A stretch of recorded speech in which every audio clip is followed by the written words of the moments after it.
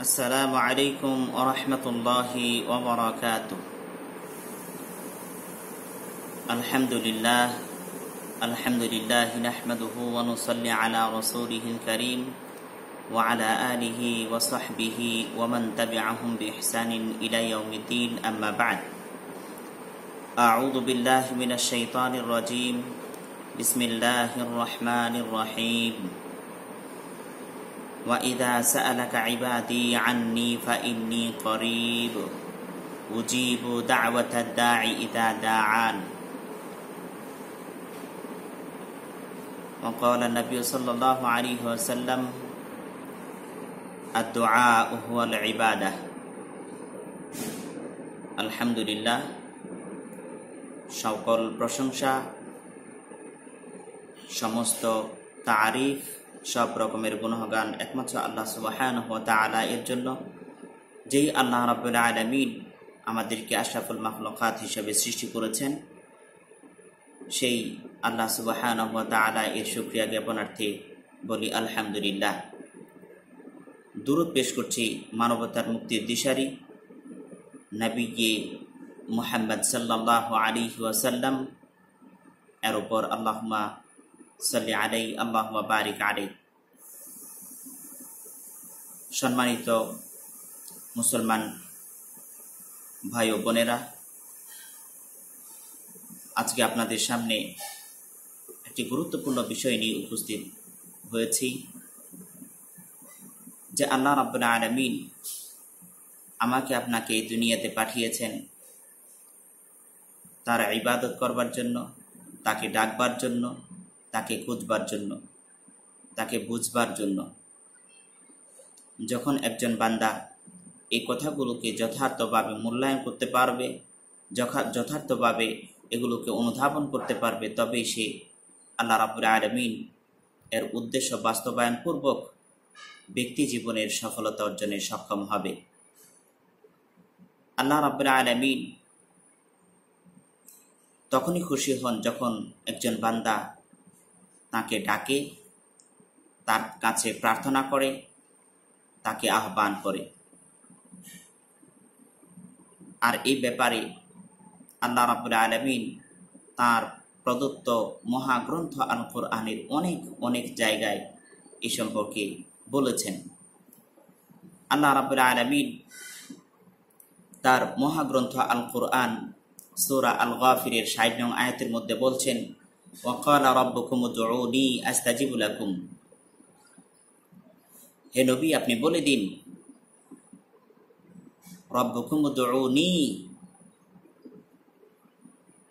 যদি তোমরা আমি আল্লাহ তাআলাকে ডাকো, আস্তাজিবু লাকুম, তাহলে আমি তোমাদের ডাকি সাড়া দিব।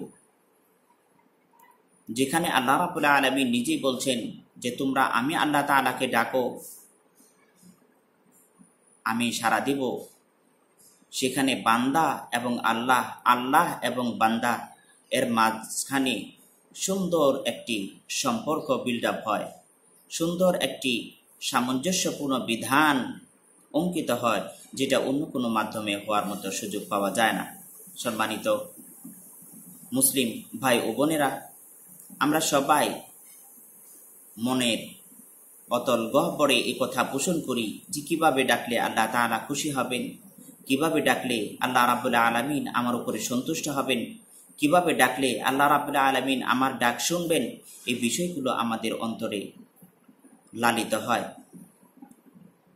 তবে যেখানে আল্লাহ রাবুল্লাহ আলমিন নিজেই বলছেন, তোমরা আমাকে ডাকো, আমি তোমাদের ডাকে সাড়া দিব।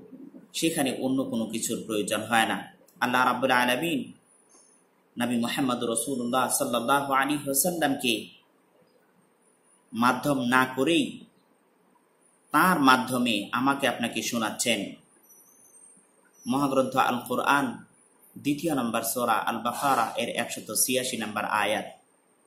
নবী মোহাম্মদ সাল্লাহ আলী হোসাল্লামকে উদ্দেশ্য করে আল্লাহ সুবাহ বলছেন ইবাদি আন্নি ফাইন্নি করিব। হে নবী, যখন কেউ আপনার কাছে প্রশ্ন করে আমার সম্পর্কে,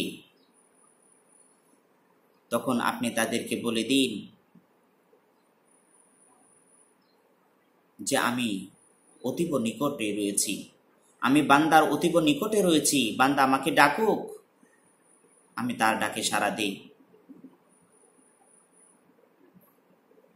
যখন একজন বান্দা আল্লাহ রাবুর আলমিনকে ডাকে, আল্লাহ রাবুর আলমিনকে খুঁজে বেড়ায়, তখন আল্লাহ তালা সেখানে সুসংবাদ দিচ্ছেন যে আমি বান্দার দূরে নই, বরং আমি বান্দার কাছেই রয়েছি। আন্নাবি মুহাম্মদ রসুল্লাহ সাল্লাহ আলী হুসাল্লাম আমাকে আপনাকে শোনাচ্ছেন যে দোয়া, এটাও গুরুত্বপূর্ণ একটি ইবাদত। দোয়াটাও হলো একটা ইবাদত। যে হাদিসটি আবু দাউদ এক হাজার চারশত উনসত্তর নাম্বার হাদিসের মধ্যে এসেছে, তিরমিজি শরীফের দুই হাজার নয়শত উনসত্তর নাম্বার হাদিসের মধ্যে এসেছে। আল্লাহ রসুল সাল্লাহ আলী সাল্লাম বলেছেন যে আর দোয়া হুয়াল ইবাদা দোয়াটাও হলো ইবাদত। দোয়াটাই হচ্ছে ইবাদত। যখন কেউ দোয়া করে, তখন সে যেন ইবাদতেই রত থাকে। আলহামদুলিল্লাহ, সম্মানিত মুসলিম ভাই ও বোনেরা, আসুন আমরা কোন সকল দোয়া করব আর কোন সকল দোয়া করলে আল্লাহ রাবুল্লাহ আলমিন আমার আর আপনার উপরে রাজি খুশি হন, খুশি হবেন? এই বিষয়গুলো আমরা কোরআন এবং সুন্নার ভিত্তিতে জানার চেষ্টা করি। সম্মানিত দিনী ভাই ও বোনেরা, আল্লাহ রসুল সাল্লাহ আলী সাল্লামকে এই রমজানের শেষ পর্যায়ে দিনের দোয়া সম্পর্কে হজরতে আল্লাহ তালা আনহা জিজ্ঞাসা করছিলেন। তিরমিজি শরীফের তিন হাজার পাঁচশত একত্রিশ নম্বর হাদিস। আয়সা রাদি আল্লাহ আনহা স্বয়ং রসুল সাল্লাহ আলী হুসাল্লামকে জিজ্ঞাসা করছেন, ইয়া রসুল আল্লাহ ইয়া আল্লাহ রসুল সাল্লাহ আলী হুসাল্লাম আর আইতা ইন ওয়াফাক চলাইলাচাল কদর? মা আদু ইয়া আল্লাহ রসুল সাল্লাহ আলী হুসাল্লাম আমি যদি কদরের রজনী পেয়ে যাই, তাহলে আমি কি দোয়া করব? কোন দোয়াটা আমি আল্লাহ তালার কাছে জানাব, প্রার্থনা করব? আপনি আমাকে শিখিয়ে দিন। কল নবী সাল্লাহ আলী হোসাল্লাম বলছেন, তাকুলিনা, এ কদরের রজনীগুলিতে তুমি পড়ো। আল্লাহ হুম্মা ইন্নাকা আফুবুন তুহিব্বুল আফুয়া ফাফু আন্নি। আল্লাহ আকবর আল্লাহ রসুল সাল্লাহ আলী হোসাল্লাম হজরত আ রাদি আল্লাহ আনহাকে শিখিয়ে দিচ্ছেন এই রজনী সম্পর্কে। এই রজনীতে কি দোয়া করবে?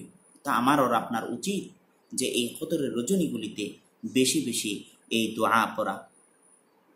সম্মানিত দিনী ভাই বোনেরা, একটি মুসলিম জীবনে একজন ব্যক্তির জন্য আল্লাহ রসুল সাল্লাহ আলী হোসাল্লাম রেখে যাওয়া আদর্শ থেকে এমন কতগুলো আহ্বান তিনি আমাকে আপনাকে শিখে গিয়েছেন, যেগুলো ব্যক্তি জীবন অত্যন্ত সুখময় করে তুলতে পারে, নিরাপত্তাপূর্ণ একটি জীবন ব্যবস্থায় পরিণত করতে পারে।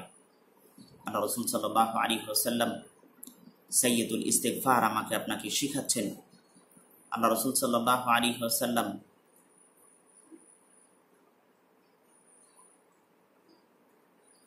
সৈয়দুল ইস্তেকফার সম্পর্কে বলছেন, এটি এমন একটি দোয়া, যদি কেউ সকালবেলা এই দোয়াটি পড়ে, সন্ধ্যা পর্যন্ত নিরাপত্তা বিধানকারী আল্লাহ সুবাহান তালা হয়ে যান।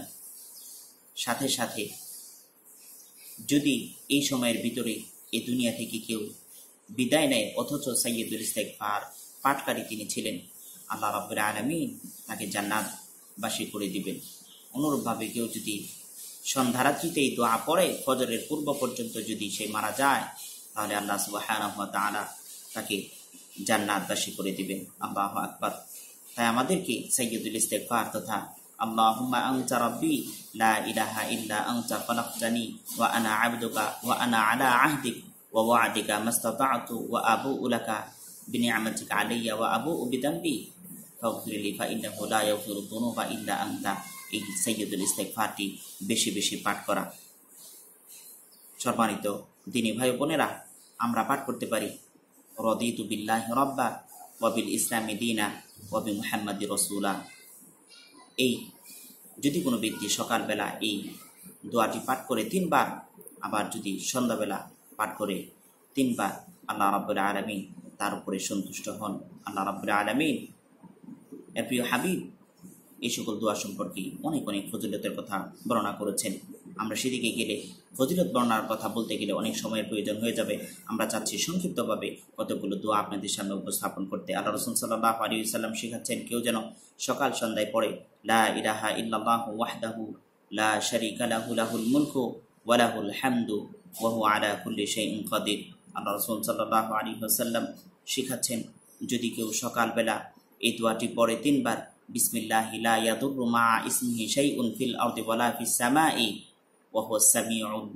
আলিম। আল্লাহ তার জন্য অনেক অনেক পুরস্কার নিহিত রেখেছেন। সকালবেলা যেরকমভাবে তিনবার করে এই দোয়াটি পাঠ করবে, বিকেল বেলাও সন্ধ্যার সময়ও অনুরূপভাবে সে এই দোয়াগুলোকে তিনবার পাঠ করবে। আল্লাহ রসুল সাল্লাহ আলী সাল্লাম আবার শেখাচ্ছেন যে তোমরা পড়ো, হাসবি আল্লাহ ইলাহা ইল্লাহ আলিহি হুয়া রাব্বুল আযীম। যখন কোনো একজন ব্যক্তি রাত্রিবেলা এই দোয়াটি সাতবার পাঠ করে, তখন আল্লাহ রাব্বুল আলামিন তার আমল নামায় যে সকল ফজিলতের কথা আল্লাহ রসুল সাল্লাহ আলী সাল্লাম ব্যক্ত করেছেন সেগুলোকে লিপিবদ্ধ করে দেওয়া হয়। আল্লাহ রসুল সাল্লাহ আলী সাল্লাম মা ফাতিমা রাদিয়াল্লাহ ফাতিমা রাদিয়াল্লাহ তাআলা আনহাকে উপদেশ দিয়ে বলছেন, হে মা, তুমি পড়ো এই দোয়াটি সকাল সন্ধ্যায়। ইয়া হাইয়ু ইয়া কাইয়ুম বিরহমাতিকা আস্তাগীথ আসলিহ লি শাআনি ইলা নাফসি তরফাত আইন। আল্লাহ রসুল সাল্লাহ আলী সাল্লাম জীবনের কর্মগুলোকে সহজ করে নেওয়ার জন্য এরকম কিছু দোয়া হজরতে আ ইশারত আল্লাহ তালা আনহাকে শিখিয়েছেন। আল্লাহ রসুল সাল্লাহ আলী হুসাল্লাম আমাকে আপনাকে শিখাচ্ছেন, আল্লাহুম্মা ইন্নি আসআলুকা ইলমান নাফিআন ওয়া রিজকান তাইয়্যিবান ওয়া আমালান মুতাকাব্বাল। আল্লাহ রাসূল সাল্লাল্লাহু আলাইহি ওয়াসাল্লাম শিখাচ্ছেন, আউযু বিকালিমাতিল্লাহি তাম্মাতি মিন শাররি মা খালাক। আল্লাহ রাসূল সাল্লাল্লাহু আলাইহি ওয়াসাল্লাম বলছেন আস্তাগফিরুল্লাহ আল্লাযী লা ইলাহা ইল্লা হুয়াল হাইয়ুল কাইয়্যুম। এই সকল দোয়াগুলো, যে দোয়ার মাধ্যমে একজন ব্যক্তি আল্লাহ রাবুল আলমিন এর পূর্ণ নিরাপত্তার আওতাভুক্ত হতে পারে। আরও কোরআন থেকে যে সকল দোয়া পাওয়া যায়, এগুলোর সংখ্যা অনেক। আল্লাহ রাবুল আলমিন নিজে বলছেন যে, রব্বানা গলামনা আনফুসানা ওয়া ইল্লাম তাগফির লানা ওয়া তারহামনা লানাকুনান্না মিনাল খাসিরিন। ربنا آتنا في الدنيا حسنة وفي الآخرة حسنة وقنا عذاب النار. ربنا لا تزغ قلوبنا بعد إذ هديتنا وهب لنا من لدنك رحمة إنك أنت الوهاب. ربنا إننا سمعنا مناديا ينادي للإيمان أن آمنوا بربكم فآمنا. ربنا فاغفر لنا ذنوبنا وكفر عنا سيئاتنا وتوفنا مع الأبرار. رب ارحمهما كما ربياني صغيرا. رب ارحمهما كما ربياني صغيرا ربنا لا تزغ قلوبنا بعد إذ هديتنا وهب لنا من لدنك رحمة إنك أنت الوهاب الله أكبر এত সংক্রান্ত আরও যতগুলো দোয়া রয়েছে এগুলো পাঠ করে শেষ করা যাবে না এই সময় হবে না তাই সংক্ষিপ্তভাবে এই রমজানের শেষ দশকে আমরা উল্লেখিত এই দোয়াগুলো যদি আল্লাহ তালার দরবারে বেশি বেশি পাঠ করতে পারি আল্লাহ তালা অবশ্যই আমাদের আমল নামাকে ভারী করে দিবেন পূর্ণময় করে দিবেন এবং আমাদের উপরে রাজি সন্তুষ্টি হবেন, এ আশা অবশ্যই আমরা ব্যক্ত করতে পারি। কেননা, লা জাকনা তুমি রহমাতিল্লাহ, তোমরা আল্লাহ তালার অনুগ্রহ থেকে নিরাশ হইও না। এটা আল্লাহ সুবাহান নিজেই যেহেতু বলেছেন, অতএব আমাদের নিরাশার কিছুই নেই, বরং আমরা এ আশা ব্যক্ত করব যে অবশ্যই অবশ্যই আল্লাহ সুবাহান তালা আমাদের এই প্রার্থনাকে কবুল করে নেবেন, সাথে সাথে আমাদের আমল নামাগুলোকে পূর্ণময় করে দিবেন। আল্লাহ তালার কাছে এই প্রার্থনায় জানাচ্ছি, আমরা যেন আমাদের এই আমলগুলোকে উপস্থাপন করার মতো তৌফিক পাই, আমাদের ইমানি শক্তি বৃদ্ধি হয়, আমরা যেন ইমানি শক্তিকে কাজে লাগিয়ে আমাদের আমল নামাগুলোকে পূর্ণময় করে নিতে পারি। এই তৌফিক দান করুন। আল্লাহ আমিন। আজকে এ পর্যন্তই। আপনাদের কাছ থেকে বিদায় যাচ্ছি বিদায় নিচ্ছি। এ বলে, ওয়া আখির দাওয়ানা আনিল হামদুলিল্লাহ রবিল আলমিন। ওসালামু আলাইকুম ওরহমতুল্লাহি ওবরাকাতুহ